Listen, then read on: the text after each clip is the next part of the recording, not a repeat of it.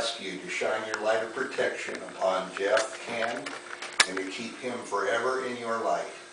I ask that you remove all earthbound demons, entities, negative energy, and unwanted spirits from Jeff's body, mind, and soul, his home, and from all of his earthly belongings. I ask this in your Son, Jesus Christ's name. Amen. Amen.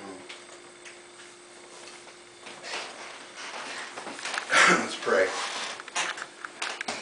Heavenly Father, Divine Creator, we seek your guidance, direction, and assistance with a situation only you can resolve.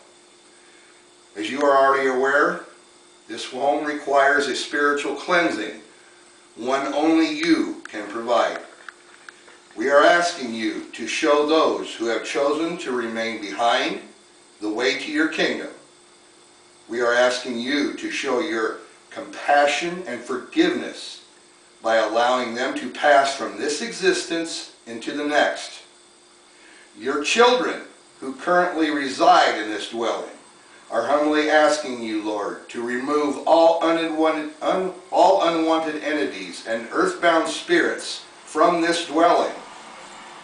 They are asking for your protection, your blessings, and the spiritual cleansing of this property.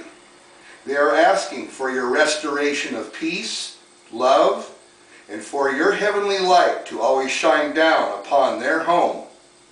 They are asking for your direct intervention, Lord, your forgiveness for these lost souls, and for your grace to enter and fill their home.